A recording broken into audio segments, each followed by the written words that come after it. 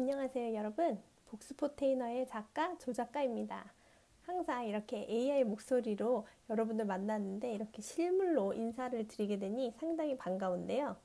어, 얼굴을 보여드리는 게 좀 더 신뢰가 간다고 느끼시는 분들도 좀 있는 것 같아서 어, 많은 고민 후에 이렇게 직접 출연을 하게 되었습니다. 아무래도 저희가 소위 말하는 엔잡러이다 보니 본업 위에 여러 가지 일들을 하고 있어서 정말 시간이 많지 않은데요. 저희도 미국 주식 투자자로서 정보 공유의 차원에서 여러분들께 조금이나마 도움이 되고자 시간을 쪼개어 영상을 제작하고 있습니다.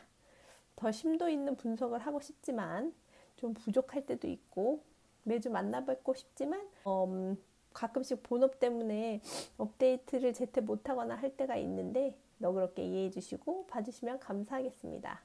목소리를 담당하고 있는 AI 친구에게도 많은 사랑 부탁드립니다. 며칠 전 9월 27일 아이온큐 호재가 있었죠. 어, 바로 아이온큐가 미 공군 연구소 AFRL과 어, 54.5 밀리언 달러, 5,450만 달러 규모의 4년짜리 계약을 체결했다는 소식입니다. 지난 4월 초 스테파닉 하원 의원이 Quantum Acceleration Act를 통과시킬 때 어, 45 million 달러의 예산을 추가로 전달할 것이라고 얘기를 했었는데요. 이 예산이 모두 아이온큐에게 가게 됐습니다. 작년 AFRL과 체결한 25.5 million 달러, 2,550만 달러 계약도 양자 네트워킹이었는데 공군에서 아이온큐에게 정말 많은 support를 보내고 있습니다. 아이온큐는 현재까지 72 million 달러 예약 실적을 발표했는데 어, 올해 예약 guidance인 7,500만 달러에서 9,500만 달러 초과 달성할 것으로 보고 있어요. 현재 예약 실적이 거의 100 어, million 달러를 넘어설 것으로 보이는데요. 아이온큐 IPO 당시 2024년에 60 밀리언 달러를 예상했었는데요. 2025년 신규 수준은 237 밀리언 달러를 예상하는데 얼마나 앞으로 더 늘어날 것인가 아주 궁금합니다. 4분기 실적 발표에서 가이던스가 300밀리언 달러를 넘는다면 2025년 4분기 흑자 전환도 가능할 거라는 예상입니다. 어, 이번 계약에 대해 아이온큐의 사장 겸 CEO인 피터 챗만은 우리 회사와 산업의 주요 변곡점에 있다는 것에 매우 기쁘다며 상장 이후 매년 매출을 거의 두 배로 늘리거나 예약 매출이 1억 달러에 이렇게 빨리 접근한 양자 컴퓨터 전문 회사는 없습니다. 라고 했다고 합니다. 이도 그럴 것이요. 아이온큐의 CMO 마거렛 아라와카에 의하면 미국에서 2024년에 이루어진 계약 중에 이번 계약 규모가 가장 크다고 하네요. 이 소식 이후 8달러였던 주가가 9.44달러까지 올라갔는데요. 이번에 9월 28일 모틀리풀에서 9월 최고가 대비 59% 낮은 아이온큐에 투자하라는 기사가 올라왔습니다. 이 기사에서 주목할 점은 아이온큐가 대단하고 미래가 촉망받는 기업인 것 같긴 하나 그렇다면 왜 이렇게 대단한 기업이 지난 1년 동안 59%나 하락했고 2021년 후반 최고치보다 현재 77% 하락한 이유에 대해 대부분 투자자들이 양자 컴퓨팅에 익숙하지 않기 때문에 이익이 없는 신생 양자 컴퓨터 기업에 대해 투자할 가치를 현재 못 느끼고 있다. 그 이유를 꼽았는데요. 하지만 지난달 52주 최저가까지 하락했기 때문에 이제 앞으로는 상승할 일만 남았다. 그러면서 오히려 아이온큐 투자자들에게는 나중에 가격이 오르기 전에 헐값에 투자할 수 있는 기회라고 기사가 말하고 있습니다. 미 공공 계약이 다시 체결됐다는 것은 아무래도 아이온큐에 대한 성능의 기대감이 입증이 되고 있다. 이제껏 많은 풍파를 넘어 아이온큐에 대한 신념을 지켜온 우리 아이온큐 투자자들에게는 기대에 부응하는 기쁜 소식이 아닌가 싶습니다. 어, 이번에는 연일 치솟고 있는 팔란티오 소식을 좀 알려드릴게요. 최근 일주일 사이 시킹 알파의 전문가 분석 기사가 10개 정도 올라왔는데요. 매수, 매도 의견이 반반씩 갈리고 있습니다. 이번 영상에서는 매도 분석 기사를 살펴보고 다음 영상에서는 매수 분석을 살펴보도록 하겠습니다.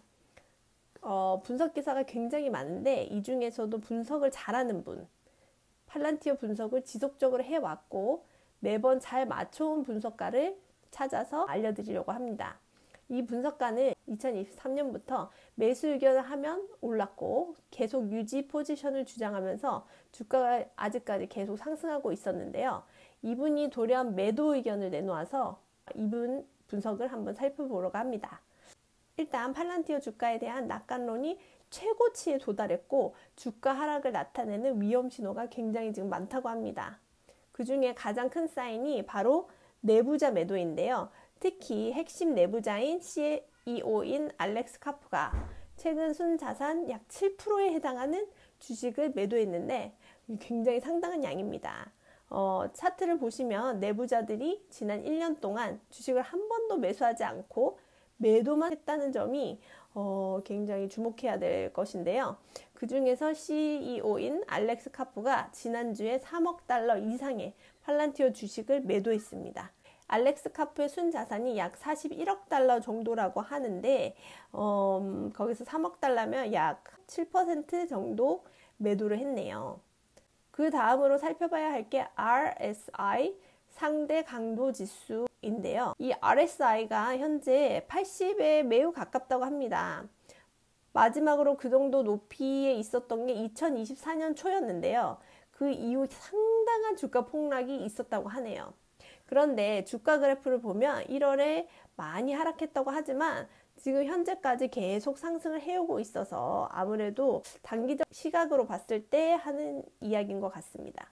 어쨌든 분석가는 RSI가 80 정도 있을 때 매도하는 것이 현명하다고 얘기하고 있습니다. 현재 팔란티어의 상태는 음, 전반적으로 아주 좋다고 합니다. 8월 5일 실적 발표도 예상치를 넘어서며 아주 좋은 상태이고 부채 상태도 좋고 최근 DEVCOM Army Research Laboratory와 함께 5년간의 계약 체결이 있었는데요. 이게 약 1억 달러 정도라고 합니다. 이뿐만 아니라 미 육군과도 계약이 있었고요. 하지만 이 모든 호재들이 주가에 벌써 반영이 되어 있고 팔란티어가 엄청나게 과대평가되어 있다고 합니다. 지난 1년 동안 167%나 주가가 급등하였는데 현재 발류에이션이 F예요, F. 고평가되어 있다는 것을 알 수 있고요. 좀 더 정확한 가치 평가를 위해서 분석가가 장기 수익 추정치 표를 만들었습니다. 일단 1번 예에 따르면 시총이 약 430억 달러 정도가 되어야 하는데 현재 그 두 배인 850억 달러죠. 어, 이 정도 시총을 정당화시키려면 매출 CAGR이 26% 되어야 한다고 하는데 이게 현실적으로 아주 어렵다고 합니다. 이 분석가는 참고로 불이에요, 불. 어, 베어가 아니고요. 팔란티어 강세론자입니다. 어쨌든 결론적으로 재무 실적에서 계속적으로 어, 안정적으로 발전이 되고 있어서 장기적으로 볼 때는 계속적인 성장세를 보일 것으로 예상합니다. 하지만 실제 가치 평가를 계산해 봤을 때 아주 고평가가 되어 있어서 하락할 가능성이 있기에 지금 이익을 실현하고 나중에 더 낮은 가격에서 다시 들어가는 것이 좋을 것 같다는 어, 분석가의 결론입니다. 하지만 분석가 예측이 틀릴 수도 있습니다. 어, 최근에 페드가 금리 인하를 하기 시작했는데 모든 성장주들에게 큰 긍정적 요인이 될 수 있는 부분이고요. 어, 예상보다 빠르게 진행된다면 팔란티어에 대해 낙관론이 더 커질 수도 있겠습니다. 오늘은 매도 분석을 살펴봤는데 다음 영상에서는 매수 분석 또한 살펴보도록 하고요. 그리고 9월 30일 날 시킹 알파에서 또 아이온큐 분석 기사가 새로 올라왔어요. 그래서 그때 또 그것도 함께 살펴보도록 하겠습니다. 여러분은 어떻게 생각하시나요? 댓글로 나눠주세요. 다음 영상에서도 또 만나 뵙겠습니다. 항상 시청해주셔서 감사합니다. 조작가였습니다.